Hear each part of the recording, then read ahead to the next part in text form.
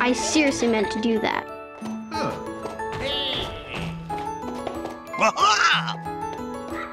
Stay toasty out there.